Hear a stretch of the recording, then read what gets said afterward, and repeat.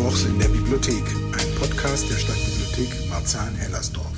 Liebe Hörerinnen und Hörer, willkommen zur mittlerweile 144. Folge unseres Podcasts Mittwochs in der Bibliothek.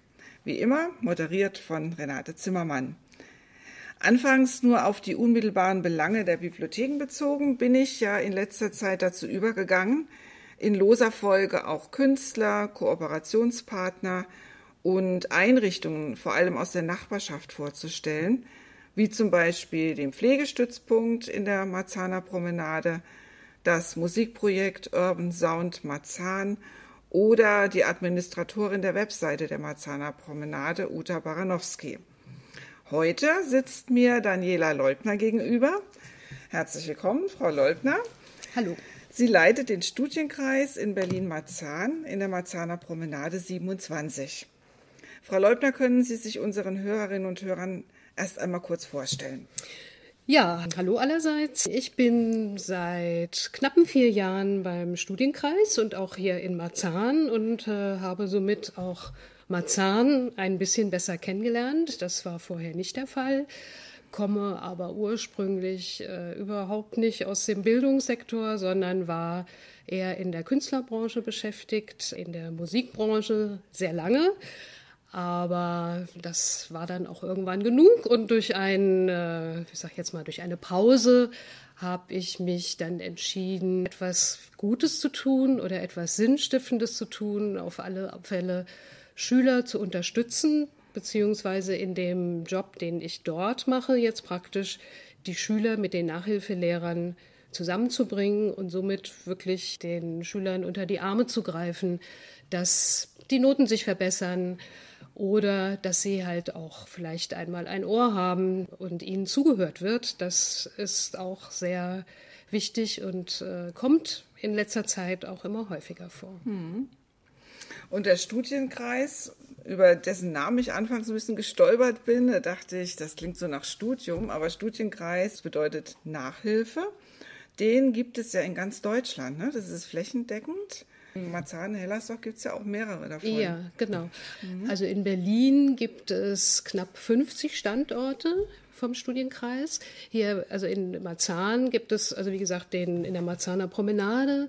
In Hellersdorf gibt es noch einen weiteren in der Janusz-Kotzak-Straße. Mhm. Und jetzt in der näheren Umgebung ist noch Ahrensfelde, äh, Biesdorf, und zum Beispiel auch Wartenberg, also auch so, also sag ich jetzt mal auch so die, äh, die noch ein bisschen weiter weg liegen, ja. äh, die Bezirke, da haben wir dann auch Studienkreise. Die sind halt immer unterschiedlich groß. Hm. Ne? Also der in Hellersdorf in Marzahn ist recht groß, der in Ahrensfelde ist sehr viel kleiner. Wird eigentlich dann immer angepasst auch an den, an den Bedarf und auch wie viel Schulen beziehungsweise wie viele Kooperationsschulen wir dann jeweils haben. Mhm. Bundesweit gibt es, glaube ich, an die 1000 Studienkreisbüros. In Österreich ist der Studienkreis auch vertreten. Ach so. Also ähm, ja, also ein wir, Unternehmen. Genau, also es ist ein ziemlich großes Unternehmen. Mhm. Also es ist äh, auch mit Franchise-Optionen. Mhm. Also es gibt so verschiedene Modelle okay. im Studienkreis. Aber es ist schon wirklich sehr präsent. Mhm. Und die Schülerinnen und Schüler kommen die dann zu Ihnen in, in die Filiale, sage ich jetzt mal, oder gehen Sie auch an die Schulen, um dort Nachhilfe mhm. zu erteilen? Ja, also äh, primär kommen die Schüler zu uns mhm. in die Filialen. Das hat äh, immer Vor- und Nachteile, wie das dann immer so ist. Vorteil ist, dass sie halt von der Schule einfach weg sind und mhm. in der in einer anderen Umgebung und vielleicht auch in einer ruhigeren Umgebung lernen. Wir haben auch die Gruppengröße ist bei uns äh, maximal mit sechs Schülern. Also mhm. Also es sind kleine Gruppen, es sind kleine Räume. Es ist eigentlich ein recht äh, intimer Bereich. Also mhm. im Studienkreis Marzahn habe ich zum Beispiel fünf Räume davon zwei große und drei kleinere. Also es ist sehr übersichtlich. Das ist eigentlich auch so der Vorteil. Wir gehen aber jetzt auch vermehrt an die Schulen. Mhm. Es gibt verschiedene Projekte. Es gibt zum Beispiel die Ferienschule, die auch vom Berliner Senat gefördert wird sozusagen, äh, die halt natürlich in den Ferien stattfindet. Die Schulen haben die Möglichkeit, auch selber Projekte praktisch zu initiieren mit ich sage jetzt mal den Dienstleistern, also außer dem Studienkreis gibt es natürlich noch, ich glaube, 50 weitere Nachhilfeorganisationen, ähm, mhm. aber das ist auch möglich. Also sowohl im Studienkreis als auch an den Schulen ist der Unterricht mhm. möglich. Aber nach Hause gehen Sie nicht. Also das Nein. jetzt. Okay. Genau, nach Hause nicht. Mhm. Also das ist dann wirklich ein ganz anderes Feld. Äh, da gibt es dann andere Mitbewerber, die da ja. tätig sind. Ach, eben, das würde jetzt die nächste Frage aufwerfen. Es gibt ja, wie Sie schon sagten, auch andere Anbieter für Nachhilfeunterricht.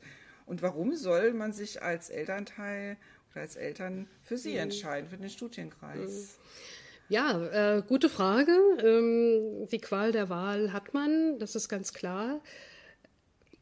Der Studienkreis hat eine lange Tradition, äh, gibt es seit 1974, mhm. also wirklich schon mittlerweile für eine Firma, ein Wirtschaftsunternehmen ist es ja auch, also wirklich eine, eine lange Zeit. Ja.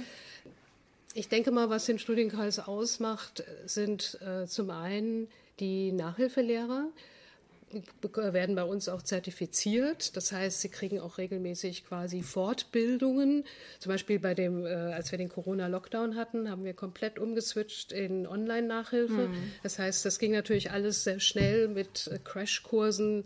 Äh, wie macht man die Online-Nachhilfe? Aber es war möglich und die Nachhilfe ist auch äh, während des Lockdowns halt online weitergegangen. Mhm. hatten wir auch alle nicht so auf dem Schirm. Dann sind es, denke ich, auch die Studienkreisleitungen, die jeweils die Büros führen, die eigentlich äh, auch die Aufgabe haben, als Team zu agieren. Also mhm. Nachhilfelehrer, Studienkreisleitung und dann halt auch eigentlich die Schüler und bestenfalls auch die Eltern, so dass es halt auch eine gute Atmosphäre ist vor Ort. Mhm machen andere Nachhilfeinstitute bestimmt auch, aber ja, ich denke mal, ähm, auch viel durch Mund-zu-Mund-Propaganda, dass mhm. halt in der Schule gesagt wird, äh, da kann man hingehen, da ist es, äh, äh, die Lehrer sind gut, sind verständnisvoll, man hat halt die Zeit, Sachen zu wiederholen.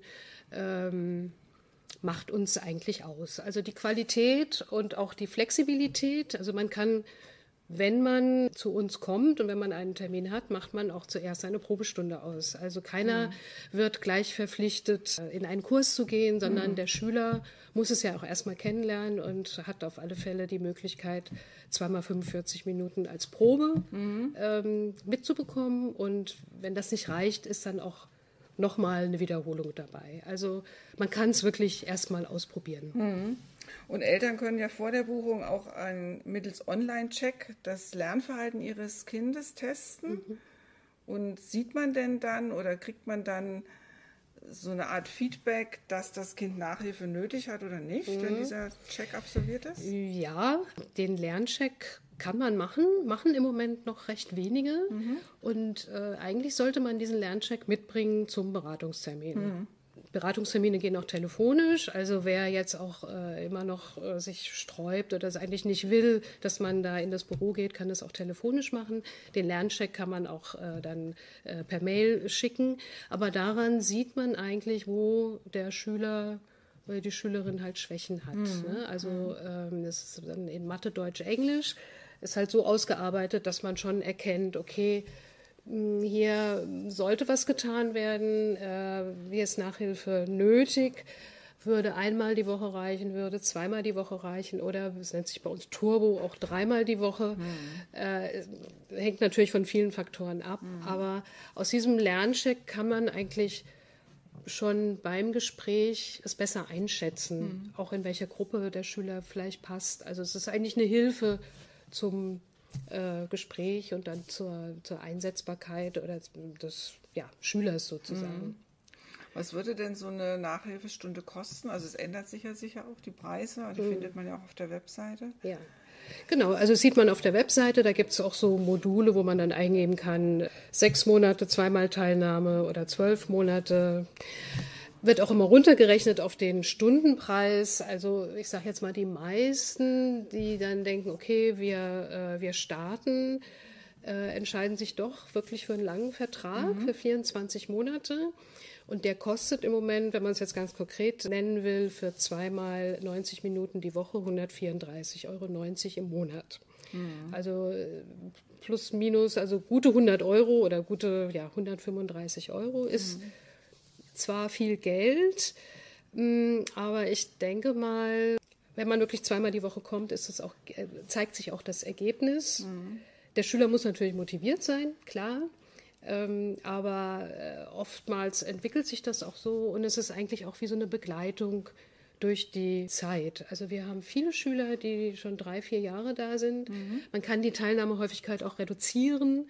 Man kann auch mal einen Ruhemonat einlegen, wenn okay. irgendwelche besonderen ja, ja. Vorkommnisse Und sind. Wenn man krank ist. Wenn man ja. krank ist, wenn man mhm. längerfristig krank ist. Stunden probieren wir nachzuholen. Also innerhalb dieses Vertrages hat man doch eine ziemliche Flexibilität. Mhm. Man mhm. kann äh, Fächer wechseln zum Beispiel. Also das wird eigentlich auch gerne in Anspruch genommen. Mhm. Und gibt es da eine Möglichkeit, die Kosten sich anderweitig wieder erstatten zu lassen?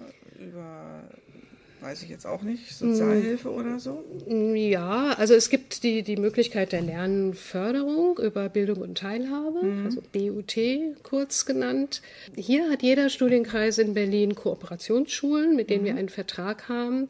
Und wer dann in dieser Kooperationsschule ist, der muss dann einen Lernförderungsbogen ausfüllen. Also die Schule muss das machen, die Schule muss das absegnen und der Schüler braucht einen gültigen Berlin-Pass. Ah ja. mhm. Also das ist, die, diese beiden Sachen sind dann praktisch erforderlich mhm. für eine kostenlose Lernförderung.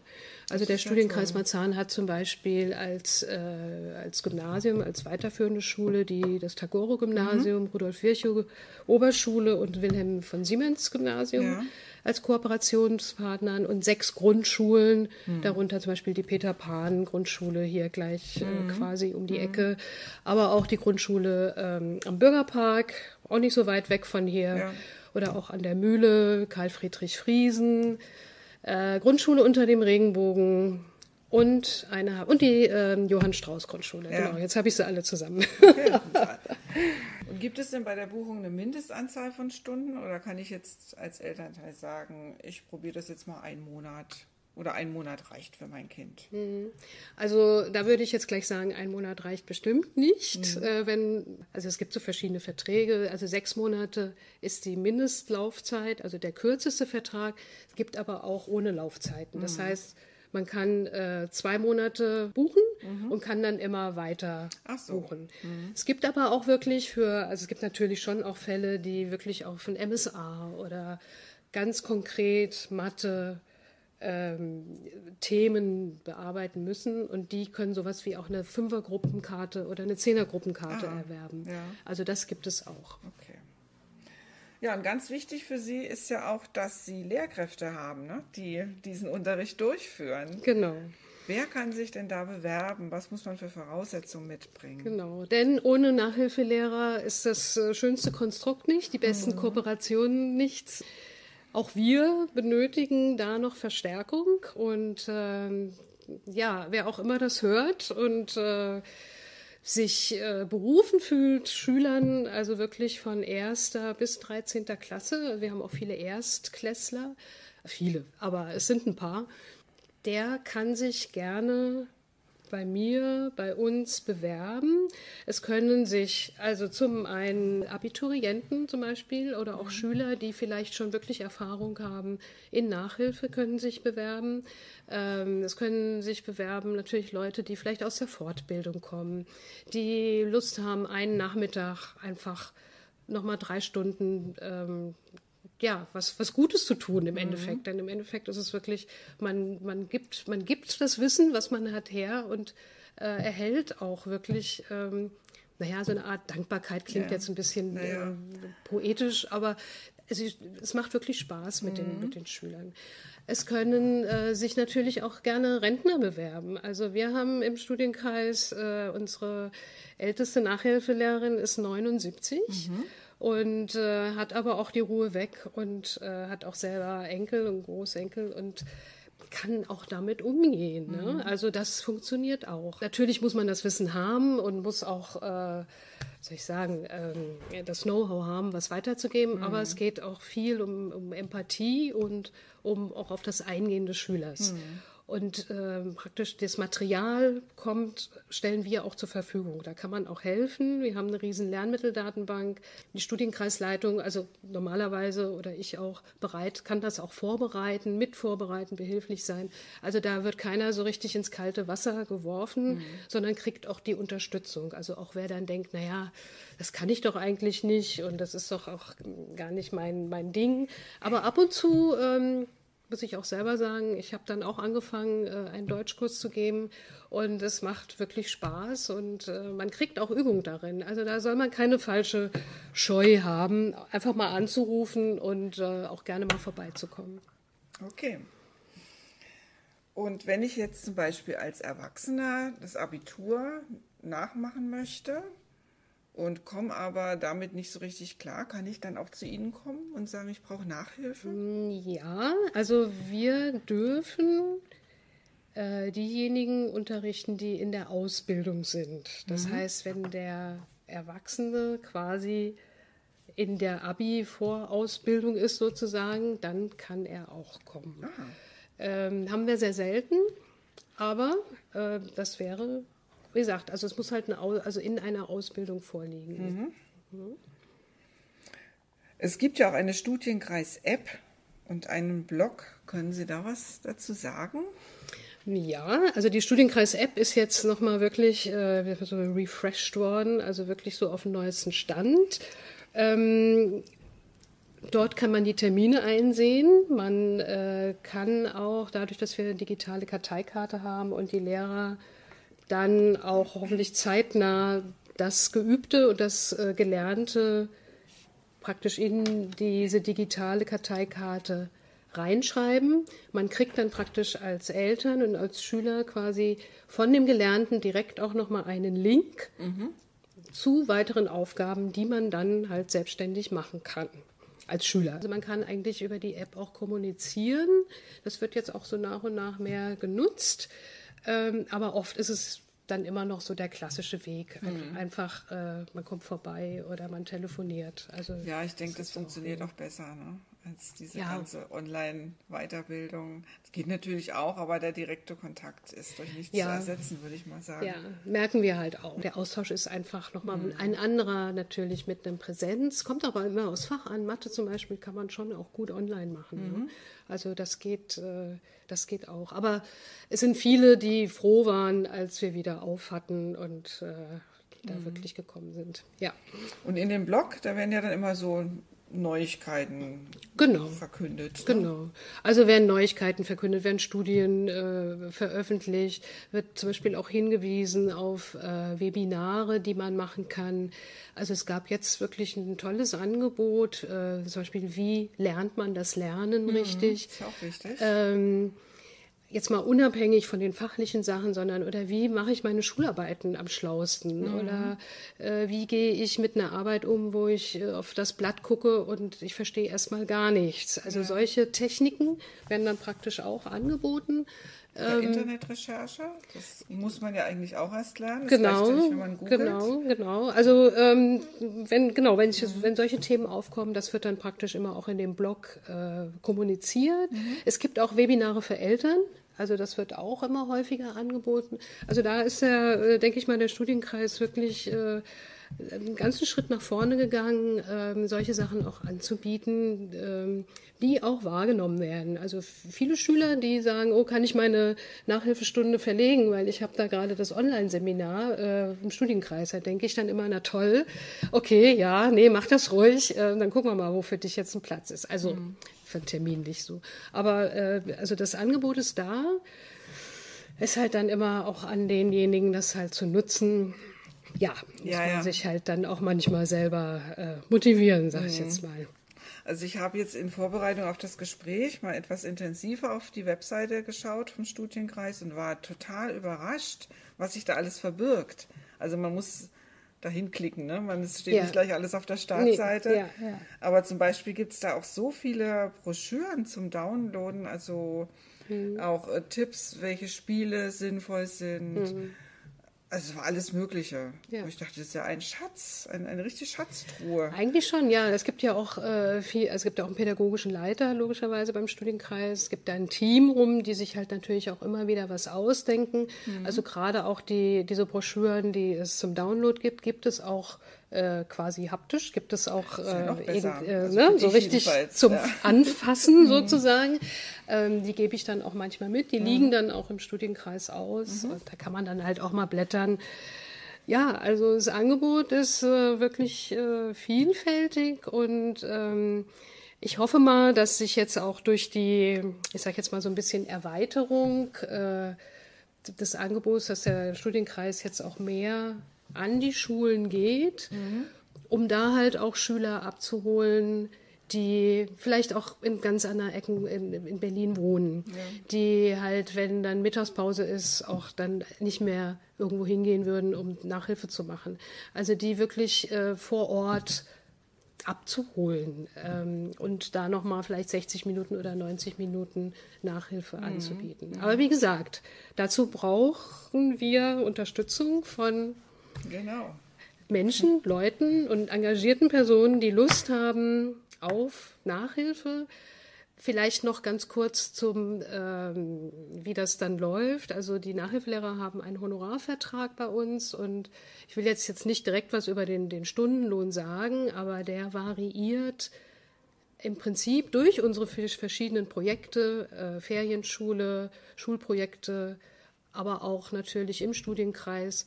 Ich sage jetzt mal zwischen 15 und auch maximal 42 Euro die Stunde wo man vielleicht auch sich überlegt, dass das doch eine ganz attraktive, ja, äh, bisschen Einnahmequelle wäre oder ein schöner Hinzuverdienst, mhm. den man dann halt, ähm, ja, vielleicht für den nächsten Urlaub oder für was auch immer mhm. einsetzen kann. Ja, es ist finanziell eine kleine Bereicherung, aber eben auch den, im sozialen Bereich. Ne? Also für einen selber rein menschlich Absolut. gesehen ist es ja. auf jeden Fall, kann also, ich mir gut vorstellen. Genau, genau. Also das ist wirklich, ähm, also manchmal geht einem da wirklich das Herz auf mhm. oder man, äh, wenn dann jemand auch wirklich dann auf einmal äh, weint oder wenn irgendwas mhm. ist, äh, kann ja auch sein, dann äh, lässt man auch alles andere liegen und äh, kümmert sich einfach, ne? weil man weiß ja auch nicht, was da alles hintersteckt ja. und man kriegt aber auch wirklich viel, äh, viel Feedback und ich würde mir wünschen, dass die Schüler auch noch mehr Feedback sind, weil es kann auch nicht immer alles toll sein. Mhm. Aber wir haben manchmal auch so Wolken, die wir auch aushängen und da gibt es halt so äh, Sprüche drauf, zum Beispiel wie durch Mathe habe ich den Sinn des Lebens wiedergefunden. Also Wunderbar. Äh, warum nicht, ne? Ja. ja, Mathe kann auch sehr bereichernd sein, auf jeden Fall. Ja, wenn man es dann mal begriffen ja, genau. hat, ist es dann super. Das äh, erfahren auch immer viele. Dann mhm. platzt der Knoten und dann sagen sie, aha, ach so, ja dann. Mhm. Also das Mathe ist eigentlich ein dankbares mhm. Nachhilfefach. Ja, liebe Hörerinnen und Hörer, Sie finden alle Informationen nochmal im Detail in den Shownotes, also in der Podcast-Beschreibung. Ich verlinke dann nochmal zu der Webseite vom Studienkreis und ich stelle dort auch die Kontaktdaten rein, wenn Sie sich bewerben wollen, wenn Sie Interesse haben, als Lehrkraft oder für Ihre Kinder vielleicht eine Möglichkeit jetzt äh, am Horizont sehen, dass, da, dass das Wissen aufgefrischt wird. Und auch in der Bibliothek haben wir Aushänge und Flyer zum Mitnehmen. Da können Sie sich auch gerne bedienen. Frau Leubner, ich danke Ihnen ganz herzlich. Ja, und ich danke für die Einladung. Das war sehr nett. ja, das war ein sehr aufschlussreiches Gespräch. Ich habe selber auch sehr viel dazu gelernt. Und ich bin immer wieder erstaunt, was für ein Potenzial die Marzahner Promenade bietet. Also wer da alles sitzt und arbeitet und Gutes tut. Ich wünsche Ihnen noch viel Erfolg für die Zukunft. Dankeschön. Und ich hoffe sehr, dass Sie jetzt überrannt werden mit Lehrkräften. Ja, schön wäre es. Ich freue mich auf jeden, der sich meldet. Und äh, genau. Mhm. Ja. Dann danke nochmal. Und für Sie, liebe Hörerinnen und Hörer, auf Wiedersehen. Bis zum nächsten Mal. Auf Wiedersehen.